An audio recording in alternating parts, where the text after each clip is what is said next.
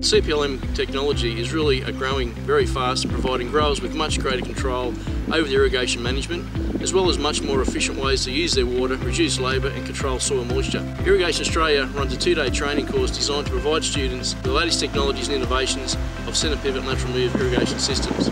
This course is really designed for anyone looking at installing, maintaining and or using a centre pivot lateral move system. Upon completion of the two-day training course, the students are expected to be able to identify the key components of centre pivot lateral move systems, identify the financial issues associated with the purchase of a CPLM and also list the factors necessary for planning to install a CPLM system in their property. It also enables students to compare sprinkler and wheel options to improve operation of their system.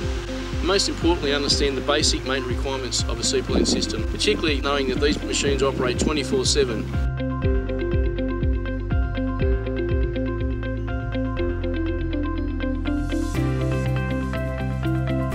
Irrigation Australia is actually a registered training organisation, RTO, under the name Irrigation Training Australia, and we provide the industry with nationally accredited and training qualifications. So please visit our website on www.irrigationaustralia.com.au to view our upcoming training in your region, and also like our page on Facebook and stay up to date with the latest events and news within Irrigation Australia.